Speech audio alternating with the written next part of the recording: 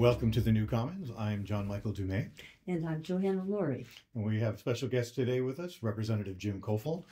And we're here to talk about uh, the election outlook and kind of what, what's coming up for the legislative session in New Hampshire in uh, 2025, 2026, the two-year, uh, the two-year session. Uh, Representative Kofalt is a sec- second-term state representative uh, serving the towns of Wilton, Temple, and New Ipswich.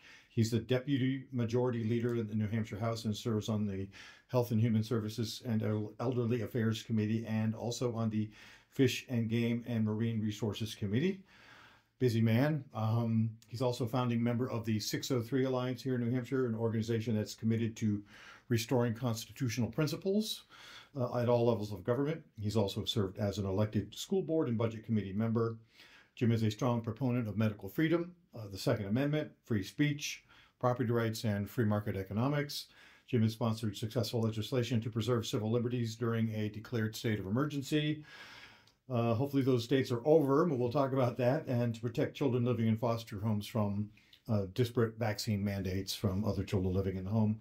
As a representative, uh, Jim has expressed his commitment to support personal freedoms, low taxes, and responsible uh, transparent government. Uh, Jim was uh, here at one of our inaugural episodes last year, um, and we like to talk about um, how to work across the aisle because that's part of the mission of the show. So go ahead and take it away, Yeah. Johanna. Well, I, I was remembering when you were here last, and you were talking about, in, and that was 2022, wasn't it? I believe. I think so. Yes, when we were still in the pandemic, and we had lots to talk about with that.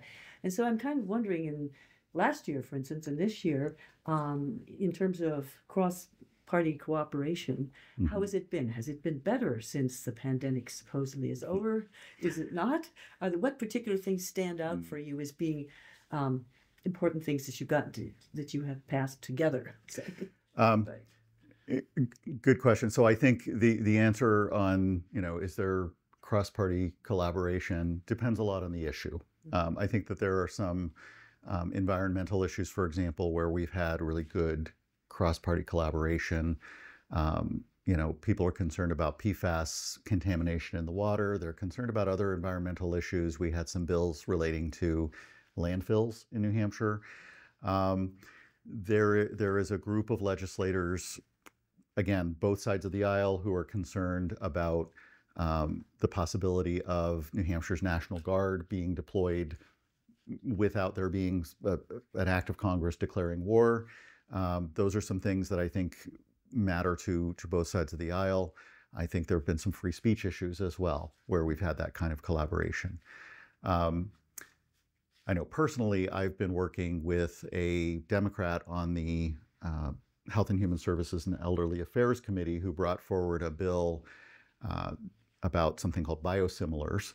Um, I'll say it's, it's a sort of, I'll call it a classification of pharmaceuticals. I'm probably technically incorrect there, but the idea is, um, you know, that if we allowed uh, if we allowed physicians and patients the freedom to substitute similar, uh, what are called biosimilars, that would bring prices way down. That would get them the same results that they're getting today with the far more expensive version.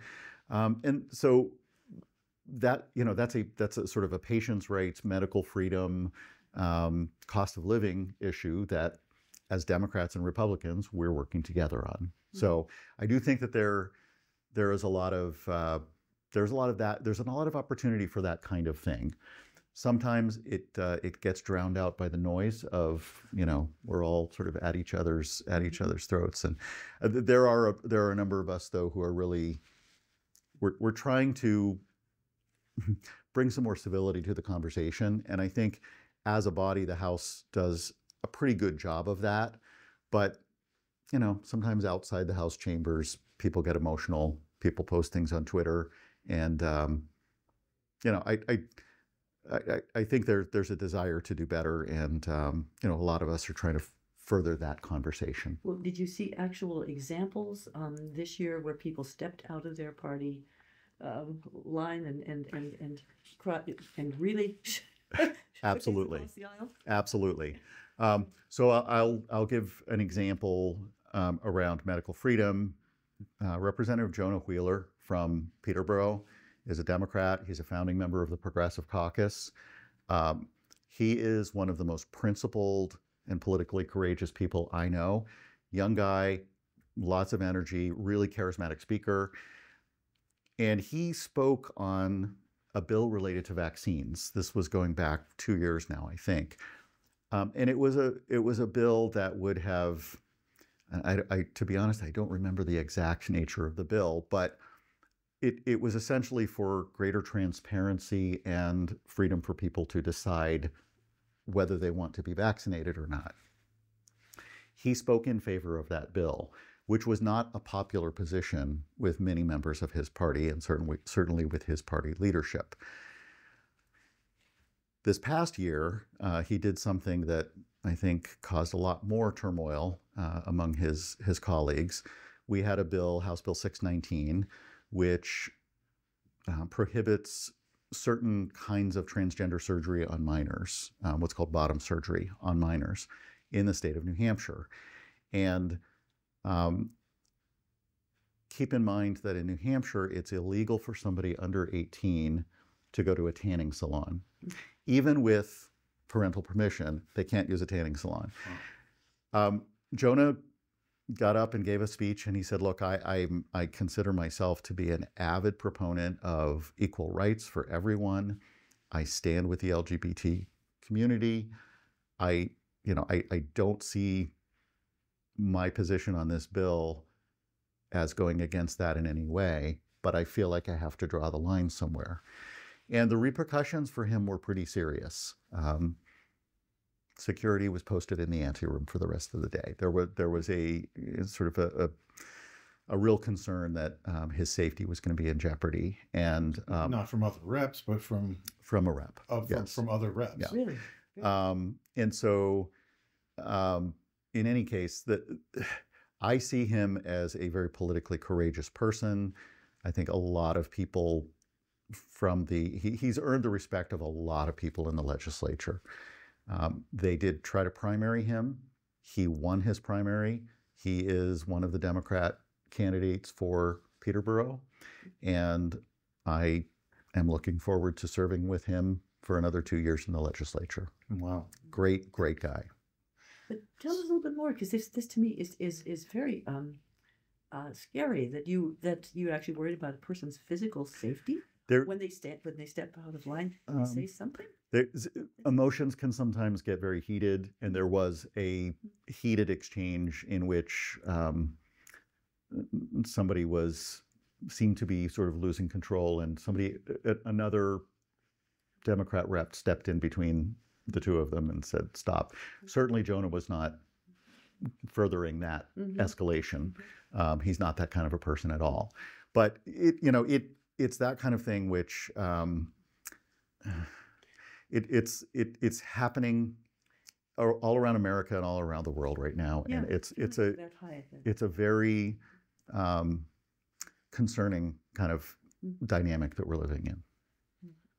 So yeah, speaking of free speech, I've, I've got a, a lot that we can talk about, and uh, Johann and I have talked about free speech for the last couple of episodes, censorship, industrial complex in particular. Mhm. But let's stick with, right now with the legislature, if you will. And Mhm. I'm wondering, is there um, any discussion uh, to talk about free speech in the legislature as or, or mechanisms by which you know people's speech can be protected or understood in, in a different way, so that these kinds of um, you know kerfuffles that you had. I don't know if Mhm. kerfuffle is the right word. Uh, you know, don't happen again. It's like because this is this is it seems like a, an assault front um, by by certain groups uh, and elites on you know what we're able to talk about, and we need to have like an agreement among adults Mhm. that you know we're going to come together in good faith and not you know sling mud at each other for having different perspectives. What is the the overall sense in the legislature nowadays for uh, preserving uh, or maybe expanding that understanding? Again, I think that the you know generally speaking, people want to get along. It is very often those most passionate, loudest voices that dominate the spotlight. Um, so we were talking before the show about, um, you know, there there needs to be a space in which people with differing opinions can come together and have a conversation, and risk maybe upsetting the other side, but have an honest conversation and be willing to find points of disagreement in order to discover those common ground areas where people do get along. And what I didn't say because we we ran out of time in that conversation was that the, that kind of neutral space is I think very valuable, but sometimes you've got people on both sides standing right outside the safe space screaming so loudly because they don't want that conversation to happen. Mm. They you they want you to be here or they want you to be here. And um, I think that's unfortunate. I think what we really need is more people standing up saying, no, we are going to have this conversation. We're not going to talk about um, narratives that everything is all this way or all that way. Um, and I'll give you a great example of this. Um, I went down to the southern border, I think it was a year, a year and a half ago, um, to meet with Border Patrol. Southern border of the United States. Yes. Um, um, so we were in Yuma, Arizona. We met with Border Patrol. We met with some uh, social service um, charities that are doing a lot to help immigrants down there. Um, we met with business people, farmers, and my big takeaway is that this is a far more nuanced issue than than either side wants to let on. So I do believe that we have a problem with the border and with security, and that we need to secure the border. But I also think that um, we are painting this in stark black and white terms, and we ought not to allow ourselves to be dragged into either of those positions. So when you look at some of the news stories about crime that's happening around the country, that's absolutely real. It's a problem, and we need to deal with the problem. Um, but one of the things that um, one of the things that that the former border security chief, uh, border patrol chief uh, down in Arizona said is we really need to be a country of wide gates and high fences. In other words, there are great opportunities to work together with our neighbor, to work realistically, reasonably, compassionately, but avoid some of the problems that we're seeing. But if you if you watch CNN, you're going to see that um, you know it's all you know young families with kids and they're looking for a better way of life. Some truth to that. If you watch Fox News, it's a bunch of sort of angry you know people with bad intentions. Um, sometimes truth to that too. The real issue is so much more nuanced than that. Mhm. And so I am opposed to sanctuary cities in New Hampshire. I voted, you know, to, for the bill that would have prohibited them. Um, I, I, I think I agree with. I, I would I would say I'm, I'm very much in the in the camp that believes that we need strong border security. At the same time, um, I think we need to be willing to look beyond the sort of uniform perspective of that position or that position. Mhm. There's a lot of nuance. Mhm. Yeah, and you need time, space, and permission. Mhm. You know, in a what I sometimes think of as a cauldron or, or an environment in which people can have those disagreements freely and not feel like they have to necessarily rush to a conclusion or, or to But if we get back to protect. the, the issue of free speech. Yes, I, I'm coming back. Yeah, now. yeah, 'cause yes, for sure. Yeah. So um, I know that you were involved in a campus free speech bill. I wanted to, before we uh, talk exactly about what you did, I just noticed today in my email inbox um, a an article by Greg Lukianoff, who, who has the Eternally, Eternally Radical Idea Substack. He is the co-author with Jonathan Haidt of the, the Coddling of the American Mind Mhm. and uh, the Coddling of the American Mind movie just came out on Amazon and other streaming services. But he notes that in the uh, universities in the United States, there's a, a continuing culture of cancellation. He just came out with a book called "The Canceling of the American Mind" with a, a Gen Z journalist, Rikki Schlott. Um, and uh, they, uh, in this book, they basically talk about um, the ramping up in cancellations uh, especially of of um, professors who get punished. I guess in the past decade there was like over a thousand campaigns to get professors punished for their First Amendment protected speech. Uh, nearly two thirds of those campaigns have succeeded. Um, I know uh, Jonathan Haidt and and others have started the Heterodox Academy to, to try to push back against that. Um, and of course, there's also uh, diversity, equity, inclusion, uh, essentially conformity statements that are required for, for a lot of these places, um, which seems to go in the opposite direction of free speech. So, can you Right. talk about your the campus bill that you that you passed and um, you know what the prospects are for New Hampshire in addressing free speech issues? Right. So that that bill, the prime sponsor for that bill was Daniel Popovici Mueller, who is from Windham, and I know he worked extremely hard on that. So I can't take very much credit for it at all. I put my name as a co-sponsor because I believe it's an important issue. Um, he was working with a national organization that is committed to uh, to free speech. I don't recall the name of the organization at the moment. I, yes, it's Fire.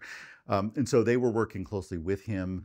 Um, but he was really working hard to build consensus and um, really point out the issue that free speech is fundamental. We ought not to have um, sort of what are called free speech zones, which it's sort of the, the implication being everything outside of the zone is not a free speech area. Um, that we, we really need to uh, to normalize free speech on college campuses, and so um, that was the essence of the bill. I think it it got a lot of uh, a lot of discussion. Um, Daniel did a, phenomenal job um, working on the House side to get it through the House, and then really shepherding it through the Senate as well. So I think it's a step forward. We have some, you know, we've seen some other bills, um, some of them related to these ESG initiatives. And ESG is a double edged sword because sometimes when people say ESG, they're talking about um, accountability standards for protecting the environment. Some of those may be good, sound ideas, some of them not. Um, Explain what ESG stands. I'm sorry, ESG stands for Environmental, Social, and Governance. And um, the idea is that um, corporations will um, sort of come together to agree that everyone in our supply chain must comply with these things. Um, And they get scored. On and they get scored on it. And so, so, th- so, right? so the idea is if, if you don't play along, you don't do business, period. You're done. That's sort of a scary proposition because it bypasses anyone who is a representative of the people and it simply says you've got an oligarchy of large corporations saying we're going to set a bunch of rules and you will all follow them or else. That's a, a huge concern and it's why another of my colleagues, JD Bernardy, has brought ESG related bills forward several times. Um, one of those uh, one of those bills was um, criticized because they say, "Oh well, you're saying that people are going to lose their their Second Amendment rights because they posted." Uh, you know, a, a political meme on Facebook or something like this, and that's ridiculous. That's not happening. the The reality is that the the greater concern is that um, somebody comes along and says, "Well, you know, one of your executives said something that we don't like about a political situation somewhere in the world or whatever it may be. They said something we don't like. That's a that's going to be a negative on your corporation's ESG score, and that that has implications. So we have seen people who've been debanked because they were selling T-shirts that somebody didn't like or uh, or whatnot. Those are concerns. I think that the the zeal to squash free speech. Um, how can I put this? I, I think the the suppression of free speech is is far more dangerous and evil than any of the speech that they might be suppressing. Yeah, Um, was there was a. Um, I guess I'll, I'll call it a, a conspiracy. Really, it's. it's uh, I'm not sure if you could call, even call it racketeering exactly, um, but it was uh, the uh, organization of advertisers called GARM. Uh, G- I can't remember what it stood for now. Uh, G A R M, but that essentially conspired to um, prevent advertisers from advertising on like X, Mhm. formerly Twitter. Right. And they basically said, you know, if you, you know, we're, we're going to come together and we're going to decide Mm-hmm. because we don't like their politics or this person's politics or whatever, that Mhm. that's, that's, that's it. And so that's a particularly, I think, uh, underhanded way, although it's understandable that they would do that, but it's, it's an, kind of another, now they stopped doing that since because I think Mm. they recognize that that maybe might fall afoul of certain kind of, uh, you know, monopolistic, uh, Mhm. uh, policies or laws. I'm not sure exactly, but uh, obviously, when people got wind of it, it wasn't Mm. looked upon as exactly in line with the with the noble ideals of free speech. And Right. so, I'm wondering if you know, just before we move on to another topic, you you know, if you could just comment more generally on what you're seeing in the censorship zone and on this tendency to label everything Mm. as misinformation and, and to normalize it. This is, I think, Right. the normalization Yeah. of censorship. Is, Right. I think it's a problem because Yeah. if we're over and over, Yeah. um, sort of acclimatizing people to the notion that free speech is not completely allowed. It's only allowed in Mm. certain places, but not here and not Well, there. And, and actually, what you're doing is you're saying what is normal is censorship. You Mm. know, the opposite. Yeah, and you have Right. people like Hillary Clinton and John Yeah. Kerry and lots of other people, you know, calling for outright censorship. yeah. Right. Well, one one thing that that really stood out for me was when a uh, member of the White House press corps asked the question in a press conference, like, shouldn't we be doing something about all this bad speech or hate speech? I can't really. Uh, I, I don't want to let this topic end without mentioning what's going on in Brazil. And I don't know if uh, Mhm. a lot of people are not following what's happening in Brazil, but Alexander Moraes, the uh, head of the Supreme Court in Brazil, has declared that X, Twitter, is now outlawed. Um, you cannot use Twitter if you use a VPN to access to access Twitter outside of Brazil. The fine is fifty thousand reals per day, which is about eight thousand dollars per day for doing that.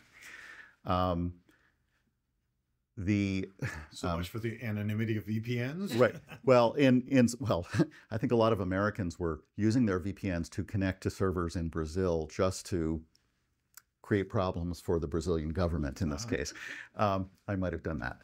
Um, the the um, the but but what's really amazing is that on Brazilian Independence Day, um, the streets, the the main thoroughfare in Sao Paulo, the Avenida Paulista, was I, I've never seen so many people in my life. It was there was drone footage going down the Avenida Paulista, and I have to say there must have been millions of people out protesting the the suppression of free speech and just the the overreach of this Supreme Court. Um, the battle is continuing, and there there have been impeachment measures um, brought against Alexander Moraes. I hope that they continue to press forward. I hope to succeed. Uh, but people need to understand what we have here in the United States, that we have a history and a culture of freedom of expression. And if that is taken away, if we allow that to be eroded by the normalization of censorship, we're going into a very dark place. And I hope that doesn't happen. Yeah, and there's all kinds of straw men that they are introducing into the uh, equation, such as Mhm. misinformation, Right. disinformation, which is, I think RFK said, if you hear misinformation, you know that, that you've just been subjected to a psyop, Mm, uh, which is to say that, uh, you know, it's information that doesn't agree with somebody in a position of power. right. and they have not only they have you know they have the power to essentially force um, public organizations or private organizations like social media companies to do the government's bidding or to do the bidding of a pharmaceutical Hmm. corporation or some other corporation that doesn't like what you have to say. And Mm, a lot of times it's actually true right? The, the misinformation can be actually true but it goes against some kind of you know some kind of official narrative or policy. Mm. this is this is the dangerous part. I don't think democrats when i'm me being formally one uh, have- have fully understand the the kind of the nature of the emergent attack on free speech and how it's coming from all quarters and also how things like ai uh, can be deployed in in this suppression Mhm. I think because the Democrats, and I also am a former one, um, feel that as long as they have free speech, everything's okay. You know, Well- that's what that's the impression I get. Uh, Well, exactly. It, it's it's a it's a little it's and this is you know part of a larger issue. I'm sorry for throwing a lot at you here, but it's a larger issue of you know politics in general of you know winner take all. You know, if I Right. if I win, Right. I get to tell everybody you know what to do, and it Mm. seems to me we kind of have to get over that, and I think that's part of what you've been talking about. It it is, and so that's a good segue to what happened on veto day. So we had veto day a couple of weeks ago, which is when the legislature comes together and we vote on bills that have been vetoed by the governor. Are we going to override the veto or not? And I had a bill that was vet- vetoed, House Bill 396, um, which relates to biological sex. It means it, or it, it basically stipulates that it is permissible to um, distinguish who uses the men's room or the ladies' room, locker rooms, prisons, and sports based on biological sex. It doesn't say you have to. It simply says you you may, and it's not going to be classified as discrimination. And I understand some people don't agree with that position. Um, It's But- hardly a radical but- idea. but I but I was, you know, I knew going into veto day there was no way that was going to get overturned. I did use the opportunity to give a short speech about the the fact that there are there are two very very different positions, and that if we allow ourselves to fall into um, one absolute position that completely invalidates the the opposing view, or the other that completely invalidates that opposing point of view, we are never going to find win win solutions to problems. I actually felt like this bill was the, the bill that was most likely to produce a positive outcome. Can we all live together? This was my attempt to do that. So, so I, I gave a short, a short talk and basically said, in the in the initial hearing for this bill, we heard from a transgender person who, you know, I'll keep it short and paraphrase, basically said, "Don't hate us." And all I could think was, I don't hate you. I've never hated you. I don't even know you. Um, but we also heard from a young mom who is a survivor of sexual assault who described how it affects her to this day. And she said, All I wanted to do was to protect my 12 year old daughter. And her 12 year old daughter at the time was being harassed by a 17 year old boy who was bringing his friends into the girls' locker room and making fun of the girls as they were changing. And I don't think that's right either. How do we how do we live together in this kind of new normal where everybody gets the respect they deserve as human beings, but not be at each other's throats? And what we've what we've fallen into is you get that narrative or you get that narrative. And I'm saying I don't want either of those narratives. I want to find a place where we can figure out where it's not a zero sum win lose, but can we work together? And I understand this is a very emotional issue for a lot of people, so they it's it's hard for them to to move off of the one position or the other. But we need to do that. And if we don't do that, we will end up in win lose situations. There will always be a winner and a loser. And th- that may flip back and forth with every election. We need to figure out how to live together. That's my position. Tough one. yeah, tough one. Well, um, I wanted to bring up the subject of money, Mm. which is a perennial problem here in New Hampshire. hmm And I'm wondering, um, it, it, occurred, it has occurred to me as I'm a reader of the sentiment when I see what bills are coming up and what, what what's happening, that recently, because of the pandemic funds drying up, Mm-hmm. that New Hampshire was doing pretty well with those in terms of using those for, for good causes. But now with that money disappearing, there's a question of how are we going to replace that here? Is that been addressed this year? Is it going to be addressed next year? I'm thinking more in terms of also, you know, the um, they talked about they, they wanted to reduce some of the business taxes, but then now you're seeing that if you reduce these business taxes, maybe it's going to actually increase taxes for Mhm. ordinary people. So how are we work? What are we doing about money? Money is it it it is very much on people's minds right now. As I'm out talking to voters, people are scared. Um, right now, the legis well, first I'll talk about some of the some of the the federal money that has flowed into the state over the past few years, you know, was to be designated for one-time expenditures. And naturally there are people in state agencies who sort of want to say, okay, well, we want to hire for a position, eh, but the time when the next budget comes around, they're they're they're probably going to say, well, you know, it was so useful, we want to continue that expenditure. So I'm going to say, theoretically, we should not be particularly um, focused on the idea that we need to replace those because when I hear replace those, I think raise taxes on Mhm. people, and I don't want to do that. Um, if we can replace them with some federal money, um, that's reasonable. But I, I also think our, our federal spending is out of control. So I, I'm not sure I love that that approach either.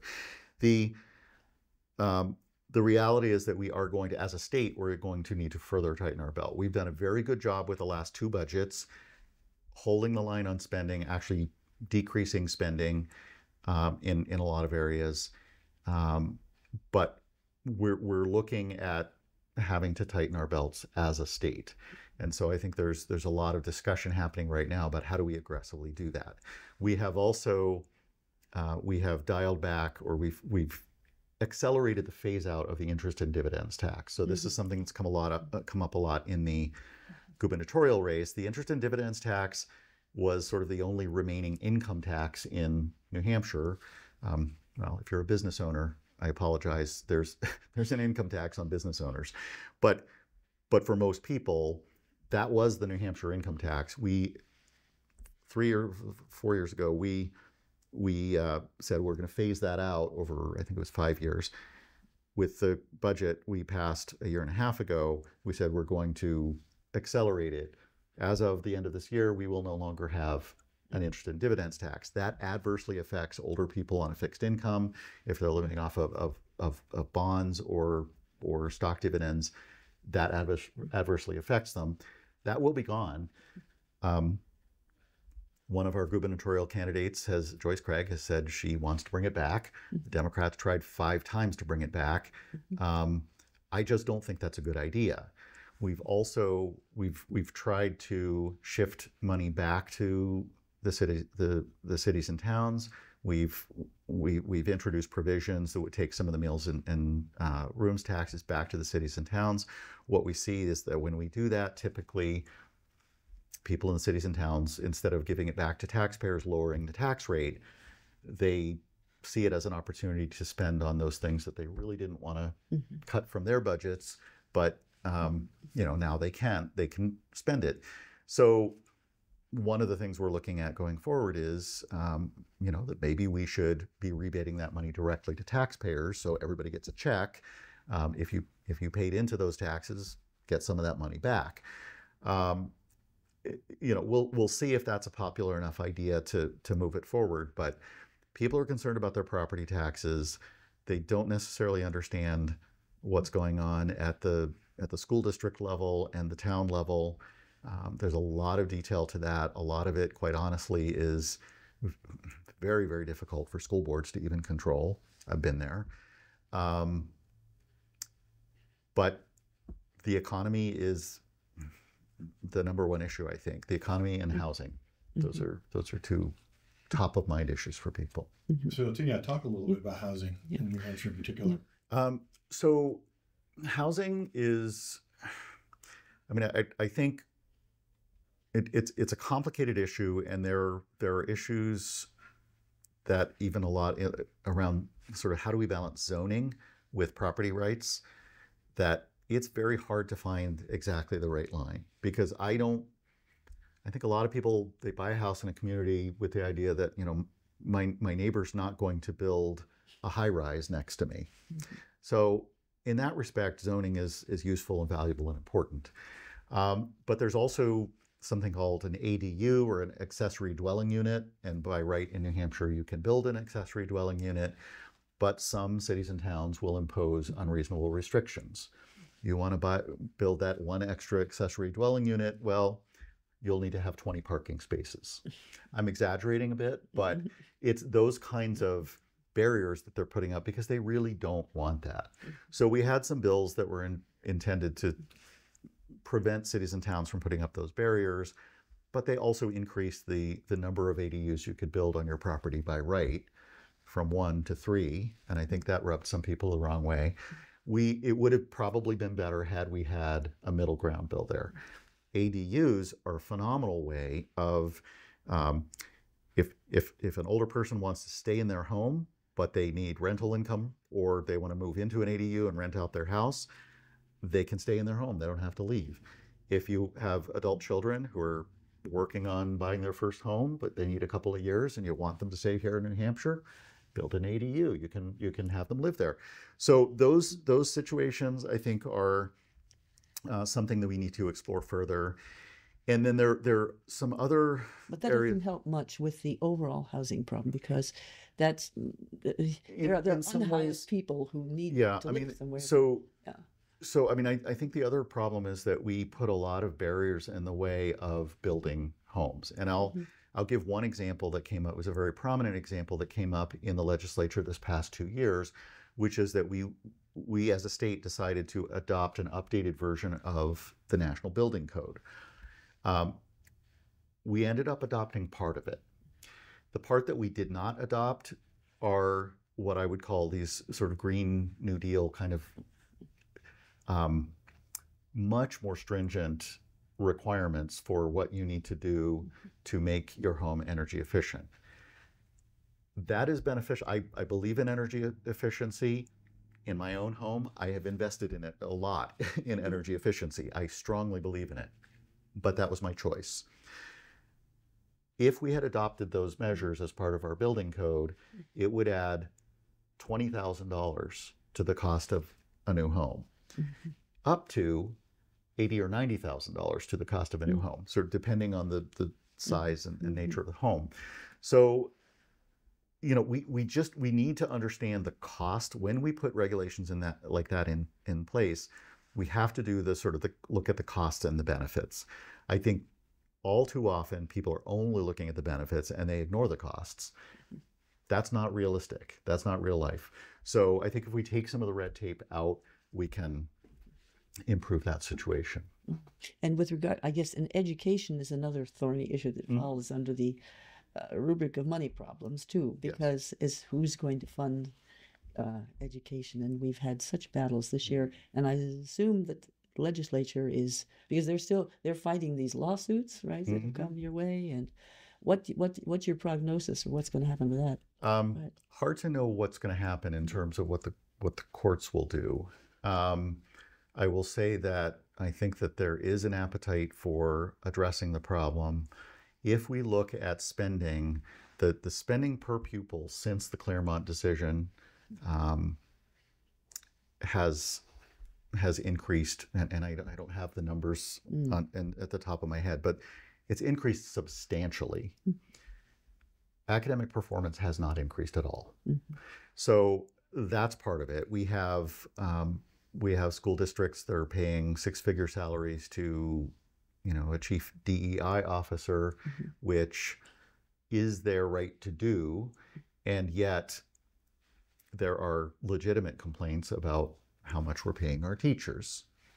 So I had a colleague who introduced something called the Students First Act, which would have said if you're going to hire that DEI hire and pay them six figures, then you you need to first increase your teacher salaries. Um, so so there's there there are initiatives like that. Um, it, it's just the the the the problem of education funding, I think, comes largely from the fact that we have you know we have a lot of of school districts that people like their local school, but even as enrollment has dropped, your fixed costs stay the same, your variable costs there's sort of a fuzzy area which are called step costs. They're not really fixed or variable. Can you have one less less classroom if you have one less student? No. Maybe you need Mhm. 25 less students or 20 less students to have one less classroom. How do you scale down when your population of Yeah. of school age students decreases? And that is a problem that has face the entire region for Of quite course, some time. And locally here, it's just because there is the recommendation to close several of Mhm. the uh, elementary schools, and the lo- the localities don't want that. They Right. want their, Right. school, but it's expensive. but yeah, they're yeah they're Right. dealing with old money question. Right. Yeah. Yeah.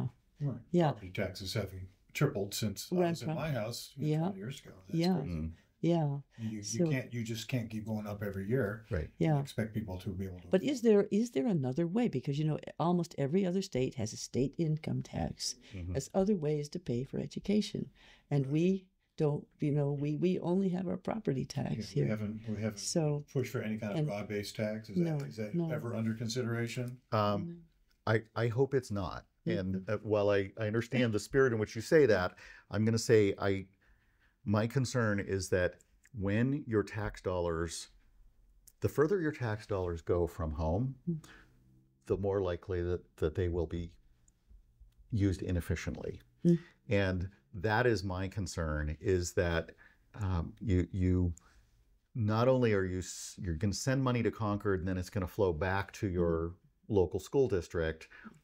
It, there there's going to be a lot of decisions that lead to spending in, in between the Yeah, in between yeah. Concord and, and coming back to your school district Mhm. and it comes with strings attached. Yeah. Um, you know, governments and the federal government is is you know masterful at this.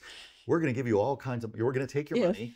We're going to take your money, uh, and then we're going to give it back to you with strings attached.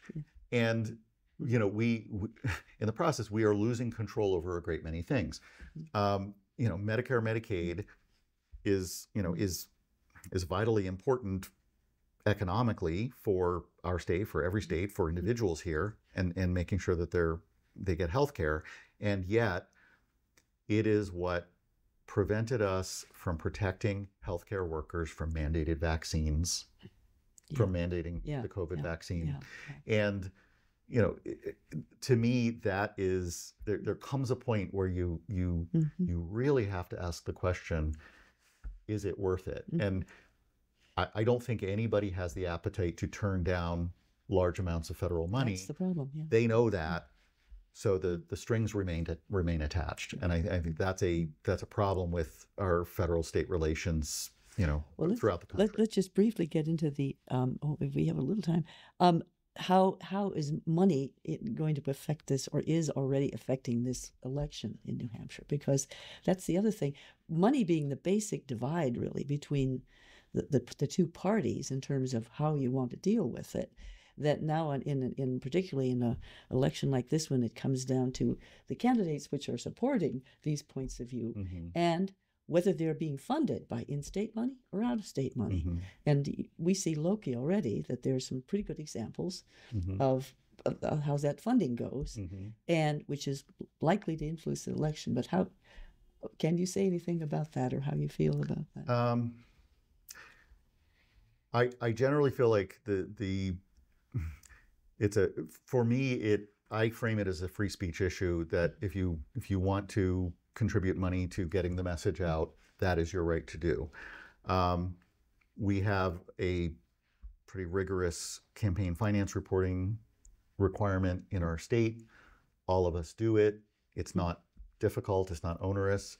Um, so I think it, you know, we can be clear about that. There are groups that we that that are spending money independently that are from out of state that we actually don't even have control over. I mean, I've had people knock doors in my district and hand out literature, and I have no control over what they're saying or Mhm. when they do it or where they go.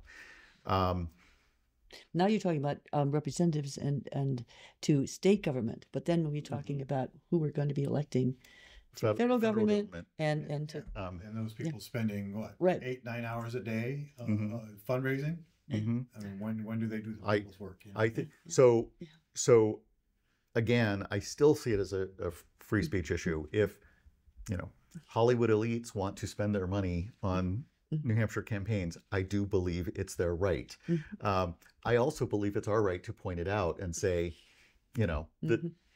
uh, do you really want to elect the favorite of? It could be Hollywood elites, or pick any outside group that Mhm. You know you don't necessarily but agree do, with. But do you hear that? You see, does your point of view get across when they're spending all their money on, Yeah. on ads on TV Yeah, and they're right. you know, Yeah, it's They drown you out. They It's, drown- it's money speech. I think Yeah. Citizens United was a terrible, yeah. it's a terrible decision, and I don't think money is speech. Uh, and, and I don't. you know, corporations are not persons. They Mm. can't feel pain. They they have no compunction. Uh, you know, we we know that liability in corporations protects almost Mhm. all of the key players. And just look at big pharma. Look at look at what they were able to pass in, in the eighties. Mm. You know, the National Vaccine Childhood Injury uh, Mhm. Act. You know, it's like and they're they're shielded now. What was the PrEP Act in in the last four years? Told a total shield for for malfeasance and Right. all manner of things that we are now discovering, uh, Mhm. which are still not really getting the light of day because of free speech Right. in, uh, suppression. Right. Mhm. And and so my I believe very, very strongly that the answer to our problems lies in an educated electorate. That is that can be a tall order. People are busy. They're you know they're raising families. They're going to their job. They're, people have a lot on their plate as it is. So asking them to read all the bills that come through Congress and the State House is not reasonable. And yet there are a lot of organizations around the state and around the country that put out newsletters and say, you need to be aware of this bill that's coming through. It's it's a threat. It is really unfortunate. Like, so you talked about the PrEP Act. You know, I know of a case of, you know, and this has made a lot of news, a, a, a young boy in Brattleboro, Vermont, who was given the COVID vaccine despite his parents explicitly saying, no, he's not getting it, and never providing a, a permission form. That has gone through uh, several um, several courts, um, several appeals, and the answer has always been the same.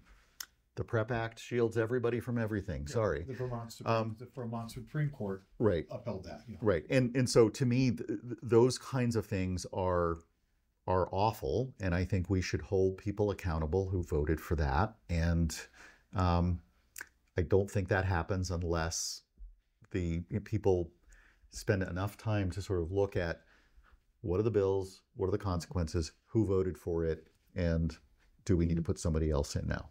So And we're getting getting back around to the free speech issues Mhm. or you know, actual real information. There's such a, sl- a, an onslaught of mhm. of misinformation from Right. official sources and from Mhm. mainstream narrative sources that how's a person you know who's not as well informed as us gonna really know That's it. what's going on Should maybe there should be some. There should just be the um, in New Hampshire that, that that the House and the Senate should should uh, advertise more when these bills are coming up. Give people you know a chance. I don't know to see that. Uh, We need it nationally too because bills come up and nobody knows and things get passed. Then people wonder what? How did that happen? Yeah. And so there's there isn't a, a good way to find There- out unless you not, yeah. unless you're doing it and you know how. Mm. So Right. And and Jim, you put your you put your finger on it. It's, it's difficult to engage the public with everything that's going on, especially yeah, you know Yeah. when we, we're in a highly inflationary period for Right. reasons that we can probably yeah. discuss another time. But uh, Mhm. you know, it's like people when they're in survival mode, when they're just trying to you know get through the day and put food on the table, it's very hard to say, all right, now we, it is. now you're going to need to spend a couple hours away from your family Mm. uh, you know, probably reasonably every week, you know, during a legislative session to think about, you know, whether you want these bills passed or not. Mhm. And then you've got to sit down and spend time thinking about who you're going to write to. And then you've got to figure out what you're going to say. And, Right. mhm. and, you know, and we know that, um, you know, um, legislators get a lot of, a lot of mail, a lot of email.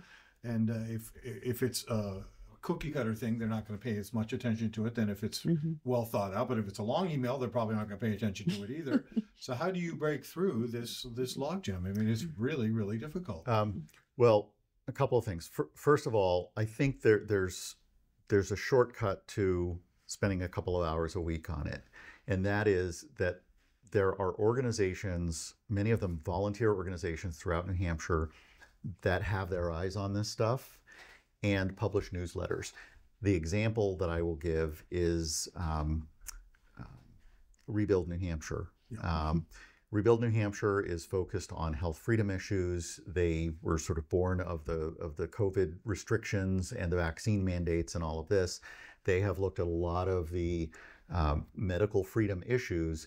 They look at the bills. They they figure out what is If it's not likely to pass at all, that you know it'll Mm. it'll go by the wayside. If it is if it's something that is really in play and really important and people need to know about it, they'll put it in their newsletter. So if you get a newsletter, an email from them once a week, and you look at it and says, "Click here to contact your representative and tell them," you can Right. send that email. It is true that an email from your district, from from the district I'm in, always matters more to me. It counts more than mm-hmm. from somebody, and that doesn't mean that it doesn't count if they're outside my district. Some of the more moving personal stories I've heard happen to be from people outside my district, but I want to know about it because it represents what's happening to other people, right? So you can tell your story, but if you're if you're clear, I'm in your district, mm. be brief. I'm writing you about this bill, HB 12345. Mm. Please support it. Um, you can call. I mean, one of the great things about New Hampshire is we have 400 representatives. That's one representative for every 3,300 people, approximately. That means they're your neighbor. You can pick up the phone and you call them. I've had people call me. I answer the phone. They say, "Oh, I was expecting to get a member of your staff," and you know, I just chuckle. It's like, Love that. I don't. I am the We- staff. we, nobody has staff. This is my cell phone. Um, so you know, we r- represent. We have a structure for being responsive in New Mhm. Hampshire, and I've talked to people. People will call me and about something. I do not agree with them on it. I will talk to them about it. Some reps aren't quite so engaging, but you know, I. I am here to represent everybody in my district. Mhm. If they disagree me, with me on some issues, I am still their representative. So call me. We'll, we'll talk about it, and um, you know, I, I will at the very least explain to you why I have the position that I have. And uh, we just have a few minutes left. I was hoping you would cover some of what's happened in the last year or two to curb the government's ability to declare unending states of emergency. Sure. So I'll I'll talk about two pieces of legislation. So House Bill 440 was I was the prime sponsor of that. You mentioned it in the intro, and that was essentially what we had. we had we had a Superior Court opinion, which said the governor may, a, a governor may limit or suspend constitutional rights during a state of emergency. House Bill 440 said no, you can't. Um, so it was sort of intended to fend off any such action by a future governor. So that passed. It was signed by the governor. In the budget this last, um, what what 20 does that prevent him from doing? well, it would prevent uh, the governor from saying, "I'm going to shut down the newspapers because I'm concerned that they're going to report something I don't like, or they'll report misinformation." Uh, that would be unconstitutional. But if the Superior Court says, "Well, you know, unconstitutional is okay during state of emergency," Mhm. my position is no, it's not. Um, and so that that that legislation was to affirmatively assert, no, it's not. Constitutional rights still apply, emergency or not. Right. Um, the other thing was that, that in last uh, in the last budget cycle, two, So that passed, that, that, that Yes. that bill passed? yes, and Governor Sununu signed it. Mhm. Um, in the 2023 budget, um, we said instead of having what is in effect a perpetual state of emergency, where you can just keep renewing it over and over and over again, we said you can do that up to I want to say it's 120 days or 100, 107 days. There's a there's a limit on it. After that limit, you have to get the permission of the legislature because the way it was before, you could effectively say, I'm going to keep renewing it forever. And in order to stop me, they need to get a majority of both houses to stop me. So a governor of either party who has control of one or the other chamber could effectively have a perpetual state of emergency. Mm. We have stopped that. So Mm. it's it's still not perfect, but it's it's a lot better than forever. So that's where we are now. Mhm. Excellent. Well, we really appreciate you coming down to, to Keene and spending uh, some time with us and letting us know kind of what the outlook is. And we Mhm. look forward to a report maybe sometime during the session or shortly after the session and let us know uh, how it goes in bringing the sides together, which is, you know, in our view, Mhm. always the most important thing and trying to get people, again, as you were saying, to stop identifying with the extreme of either view to try to get other people to line up, Yep. you know, behind a given narrative. That's probably the most important thing. Thanks, I appreciate it. Thanks for having me on. Really appreciate it. Okay.